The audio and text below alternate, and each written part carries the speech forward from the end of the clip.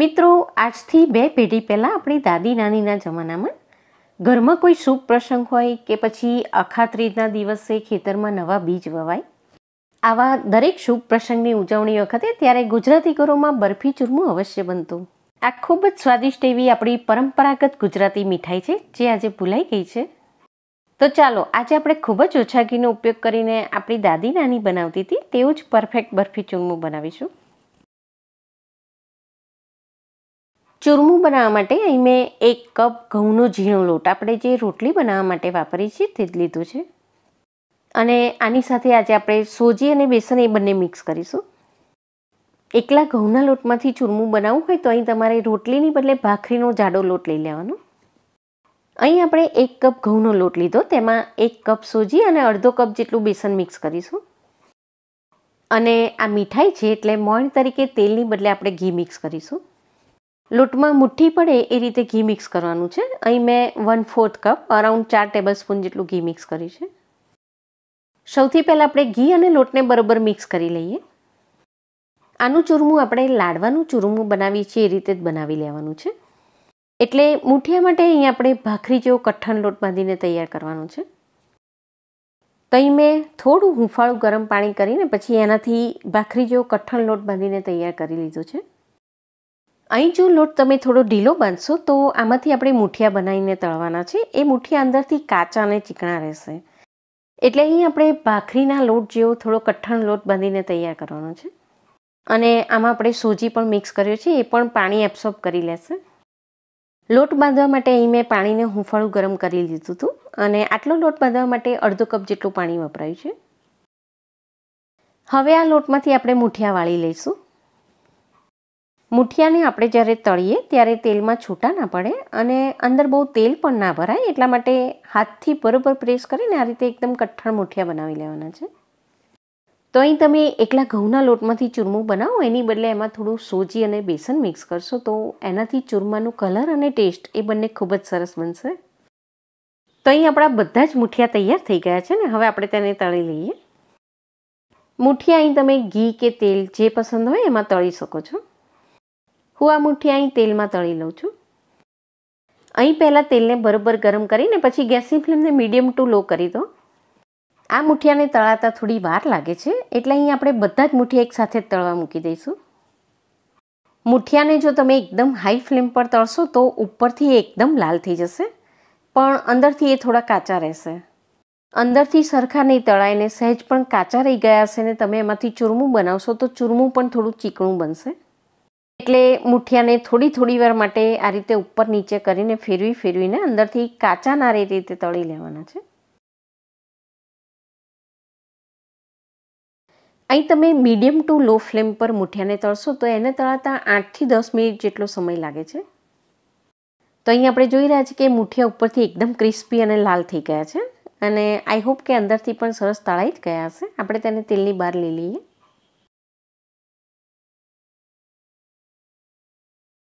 હજી આ મુઠ્ઠી એકદમ ગરમ ગરમ જ છે. આપણે તેને થોડીક વાર માટે ઠંડા પડવા દઈશું. પછી આપણે તેમાંથી ચોરમું બનાવીશું. અને ત્યાં સુધીમાં આપણે ખાંડની ચાસણી બનાવી લઈએ. અહીં આપણે કપનું સિમ્પલ માપ જ રાખીશું. અહીં આપણે અઢી કપ જેટલો લોટ લીધો છે. તો ચાસણી માટે એની સામે આપણે એક કપ જેટલી ખાંડ લઈશું. ચાસણી માટે તમે જેટલી ખાંડ લીધી હોય એનાથી અડધું તમારે પાણી લઈ લેવાનું. અહીં આપણે એક કપ ખાંડ લીધી છે, તેમાં અડધો કપ જેટલું પાણી મિક્સ કરીશું. ગેસની ફ્લેમને મીડિયમ રાખીને અહીં ખાંડની આપણે એક તારની ચાસણી બનાવી લેવાની છે. ચાસણીને થવા દઈએ અને આ બાજુ હવે આપણા મુઠિયા પણ ઠંડા થઈ ગયા છે, આપણે જોઈ લઈએ. તો અહીં આપણે જોઈ રહ્યા છે કે આપણા મુઠિયા ખૂબ જ સરસ તળાઈ ગયા છે, અંદરથી પણ એ બિલકુલ કાચા નથી રહ્યા. મીડિયમ ટુ લો ફ્લેમ પર દસેક મિનિટ માટે તળી લેશો તો અંદરથી પણ એ બિલકુલ કાચા નહીં રહે. તો અહીં પરફેક્ટ બરફી ચૂરમું બનાવવું હોય તો એની પહેલી શરત એ છે કે ચૂરમું બિલકુલ ચીકણું કે કાચું ના રહેવું જોઈએ. ઘઉંની સાથે તમે થોડો સોજી મિક્સ કરશો તો ચૂરમાનું ટેક્સચર ખૂબ જ સરસ બનશે. આ રીતે મુઠિયાને તોડી નાખશો તો એ જલ્દી ઠંડા થઈ જશે. હવે આ એકદમ ઠંડા થાય પછી આપણે તેને મિક્સરમાં ક્રશ કરીશું. ત્યાં સુધી આપણે ચાસણી જોઈ લઈએ. ચાસણી આ રીતે બરોબર ઉકળવા લાગે એટલે તેમાં સૌથી પહેલાં આપણે બે ચમચી જેટલું દૂધ નાખીશું. દૂધ નાખવાથી ખાંડમાં થોડી ઘણી પણ ઇમ્પ્યોરિટી કે કચરો હશે તો એ બધું જ તરીને ઉપર આવી જશે. એકાદ મિનિટ પછી ખાંડમાં જો કચરો હશે તો એ બધું જ ઉપર આવી જશે. અહીં ખાંડ એકદમ ક્લીન છે. હવે પાંચેક મિનિટ પછી ચાસણી પર આ રીતે બબલ્સ આવે ને ચાસણી થોડી થીક થાય એટલે તરત જ આપણે તેને ચેક કરીશું. અહીં આપણે જોઈ રહ્યા છીએ કે તૂટ્યા વગરનો એક આખો તાર બની રહ્યો છે. એટલે અહીં આપણી એક તારની ચાસણી બની ગઈ છે. તો આ રીતે એક તારની ચાસણી તૈયાર થાય એટલે તરત જ આપણે ગેસને બંધ કરી દઈએ. અને હું આમાં થોડું કેસર પણ મિક્સ કરું છું. કેસર અહીં બિલકુલ ઓપ્શનલ છે, પણ થોડુંક નાખશો તો એનાથી ચૂરમાને થોડી ફ્લેવર મળશે. એક તારની ચાસણી બની ગયા પછી ગેસને મેં બંધ જ કરી દીધું છે. હવે આપણે મુઠિયાને મિક્સરમાં ગ્રાઇન્ડ કરી લઈએ. મિક્સરમાં ગ્રાઇન્ડ કરી લીધા પછી આપણે જે ઘઉંની મોટા કાણાવાળી ચાળણી છે એનાથી એને ચાળી લઈશું. ચાળી લેવાથી એમાં જે કાંગડા હશે એ બધા જ નીકળી જશે.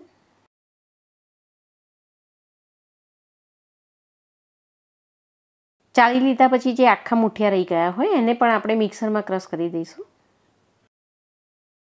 તો અહીં તમે થોડો કઠણ લોટ બાંધીને મુઠિયાને બરોબર તળી લેશો તો ચૂરમું પણ ખૂબ જ સરસ બનશે. બિલકુલ ચિકાસ વગરનું ને એકદમ કોરું.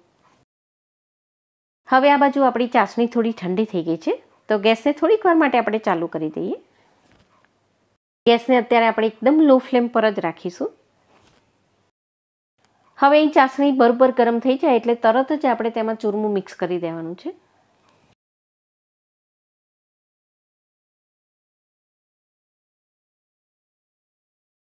અને ચૂરમાની સાથે જ આપણે તેમાં જે બાકીના મસાલા પણ મિક્સ કરવાના છે, એ પણ સાથે જ નાખી દઈશું. તો ચૂરમામાં મિક્સ કરીશું આપણે સૂકી દ્રાક્ષ, થોડી ખસખસ, સાથે જાયફળ પસંદ હોય તો થોડો જાયફળ પાવડર પણ આ રીતે ક્રશ કરીને મિક્સ કરી દો. એનાથી ચૂરમાનો ટેસ્ટ ખૂબ જ સરસ બનશે. અડધી ચમચી જેટલો આપણે ઇલાયચી પાવડર પણ મિક્સ કરી દઈશું. હવે ચાસણીમાં ચૂરમાને બરોબર મિક્સ કરી દઈએ.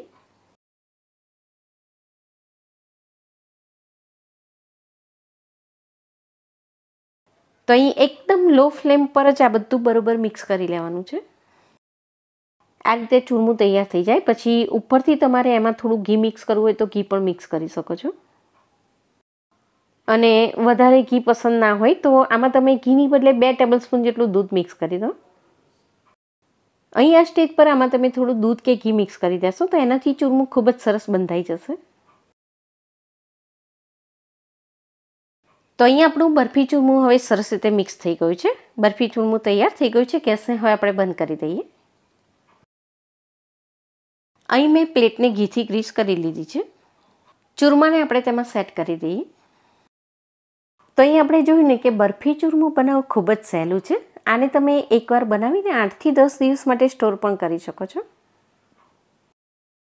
ગરમ ગરમ હોય ત્યારે જ ચમચાની મદદથી એકદમ પ્રેસ કરીને એને સેટ કરી દો, એટલે એ છૂટું નહીં પડે.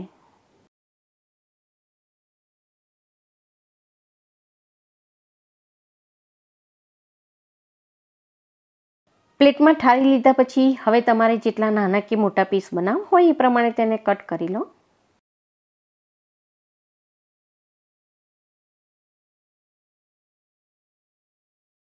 અને આની પર તમે કોપરાનું છીણ, ખસખસ કે પછી કાજુ બદામ પણ ગાર્નિશ કરી શકો છો.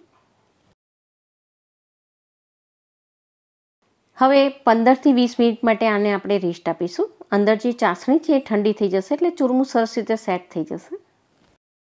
પછી આપણે તેને સર્વ કરીશું. વીસ મિનિટ પછી હવે આપણું બરફી ચૂરમું સરસ રીતે સેટ થઈ ગયું છે અને સર્વિંગ માટે તૈયાર છે. તો ફ્રેન્ડ્સ આ આપણી પરંપરાગત ગુજરાતી મીઠાઈ છે, ભૂલાઈ ના જ જવી જોઈએ. આપણો વારસો, આપણી સંસ્કૃતિ જાળવવાની જવાબદારી ફક્ત અને ફક્ત આપણી જ છે. તો જરૂરથી આ બરફી ચૂરમું બનાવીને ટ્રાય કરો. અને તમારા એક્સપિરિયન્સ કેવા રહ્યા તે નીચે પહેલાં કમેન્ટ સેક્શનમાં મારી સાથે ચોક્કસ શેર કરો. રેસીપીને લગતા કોઈ પણ ક્વેશ્ચન કે પછી સજેશન હોય તો એ પણ નીચે પહેલાં કમેન્ટ સેક્શનમાં મારી સાથે ચોક્કસ શેર કરી શકો છો. વીડિયો જોવા માટે તમારો ખૂબ ખૂબ આભાર. Thank you.